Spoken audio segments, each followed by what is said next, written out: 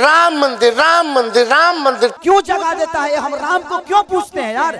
हज़ारों लाखों करोड़ रुपया अगर अयोध्या में खर्च हो रहा है तो उससे कितने लोगों की शिक्षा हो जाती? ये पत्थर भी एक पत्थर भी विश्वास क्यों जगा देता है? हम राम को क्यों पूछते हैं यार? पूछने का कारण है कि राम ने कर्तव्य किया है और हम पत्थर में भी भगवान ढूंढ लेते हैं। अच्छा हम नाजायज बोलते हैं चाचा। ना ना ना। अभी बताई जे खेसरिया जब अपना खातिर हॉस्पिटल नहीं बनवले तब गाँव भर का इलाज कहाँ से कराई?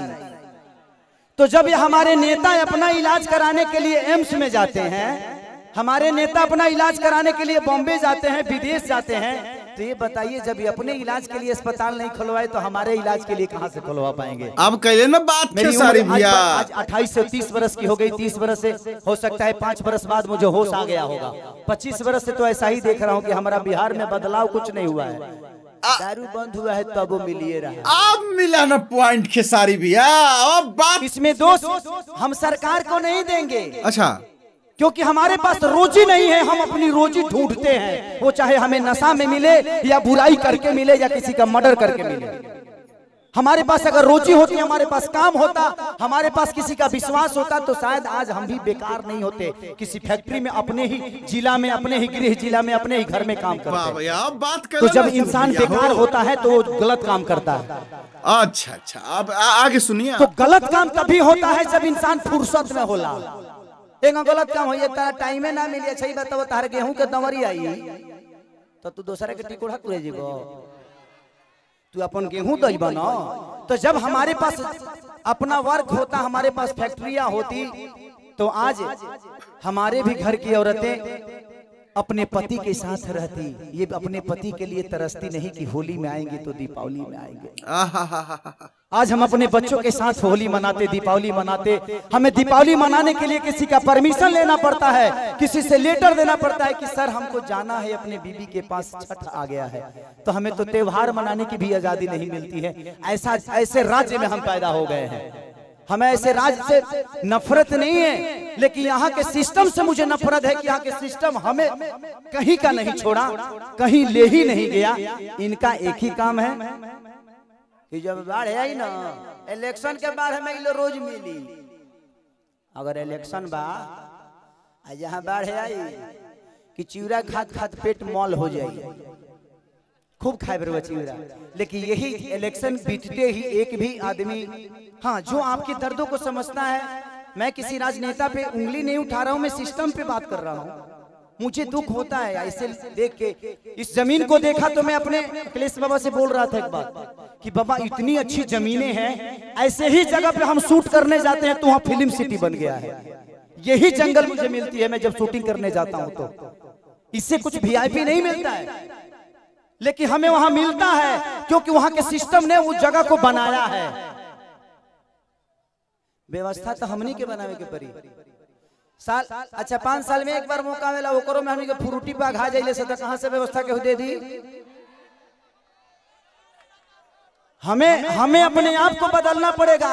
आपको बदलने के लिए आपको अपने आप को बदलना पड़ेगा। तब सिस्टम बदलेगा क्योंकि सिस्टम चलाने वाले आप हैं। आप उनको अधिकार देते हैं सिस्टम चलाने के लिए।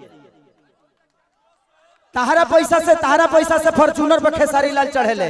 खेसारी के खेसारी के कल से सुनल बंद कर देवे खेसारी के औकात नज़र आ जाए कि खेसारी तू कितना बड़ा स्टार हुआ मैं अपनी बातें कर रहा हूँ। तो जब खेसारी लाल यादव की औकात आपके हाथों में है, मेरा भविष्य आपने तय किया है। एक दूध बेचने वाले बेटा, एक लिट्टी बेचने वाले बेटा स्टार आपने बनाया ना? मेरे पिताजी कभी मेरा सिनेमा नहीं देखते हैं। लेकिन आप लोग अपने बेटा के लिए अपना हाथ तक फाड़ लेते हो तो मेरे बाप से बढ़ के आप सब होते हो इसीलिए मैं हमेशा आप सबसे प्यार करता हूँ। मैंने अपनी जगह पहचानी रास्ते खत्म नहीं होते हैं। जहाँ खत्म होते हैं वहीं से एक दूसरा रास्ता बनता है। वो आपको चुनना है कि आप जाना कहाँ चाहते हो।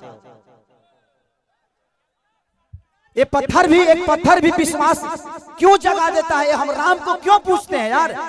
पूछने का कारण है कि राम ने कर्तव्य किया है और हम पत्थर में भी भगवान ढूंढ लेते हैं।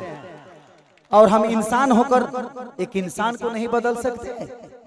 वाह खेसारी भैया, पहले तो हम इस तालियों से आपका बहुत बहुत ही धन्यवाद करते हैं जो शब्द आपके मुँह से जो निकला है। और यही शब्द शायद मनीष कश्यप बोलते थे ना? यही शब्द जो आप, जितने भी शब्द आपने बोला कि बिहार के सिस्टम ने बिहार को बर्बाद किया, जो शब्द आपके मुँह से निकलता है कि रोजी रोज़गार नहीं होने की वजह से बिहार के लोग चोरी लूट, डकैती करते हैं, किसी का मर्डर करते हैं, अपहरण करते हैं, गलत काम करते हैं। यही आपके मुँह से निकला? और आपने यही ने बोला कि अगर बिहार में रोज़गार होता, फैक्ट्री होता तो सब होली दिवाली में बाहर नहीं जाता। यही सबने बोले कि सब अपना बिहार में रहता, खूब कमाता, और आप भी जो संपत्ति मुंबई में लिए हैं, वो सब आप बिहार में लेते। और इतना अच्छा बात बोले कि यहाँ जो फ़ील्ड है, ये जो फ़ील्ड में अगर फ़िल्म सिटी बन जाता तो बिहार सरकार को फ़िल्म के वजह से बहुत सारा पैसा मिलता, उससे भी बिहार डेवलप करता। तो मेरे प्यारे दुलारे खेसारी लाल यादव भैया जी, यही सब बात मनीष कश्यप ने बोलते थे। जो जेल में चल गए, बोलने की वजह से और जिस समय